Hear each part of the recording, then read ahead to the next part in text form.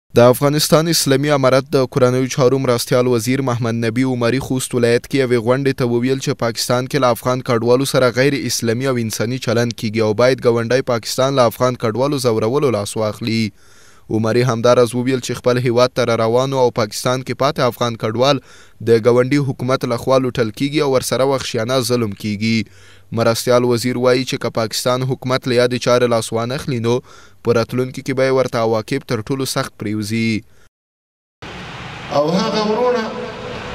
چې تاسې بار بار په دې میډیا کې اورئ چې د هغې وروڼو سره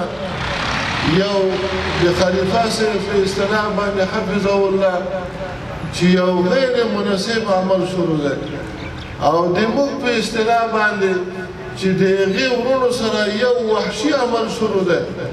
یو د غدر او د خیانت د ظلم عمل شروع دی الله تعالی دې هغه خلک هم خپل وطن ته په خیر راولي امارت لګېدلی دوه میلیارده یې فلحال عاجلې افغانۍ منظورې کړې دي دا د مهاجرینو د راستنېدونکو لپاره وچ خرڅ ورکوي په لکونو ډوډۍ ورکوي وسایط یې هغې لپاره برابر کړي دي چې خپلو کورونو ته ورسېږي چیری نه یی چه رقیبان دا ووایی چه د خلکو ملکان نشته. بل لور ته د کورنیو چارو مرستیال وزیر محمد نبي عمري له هېوادوالو وغوښتل چې د خپل هېواد د ابادۍ او پرمختګ لپاره کار وکړي ترڅو نور افغانان له پردیو مختجۍ د تل لپاره خلاص شي.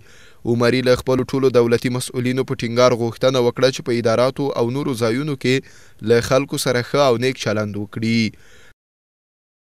اوس په ابتلا او امتحان کې راغلی یو چې د خپل وطن ملک نو وګرځولی انجینر صاحب معلم صاحب ولی صاحب قومندان صاحب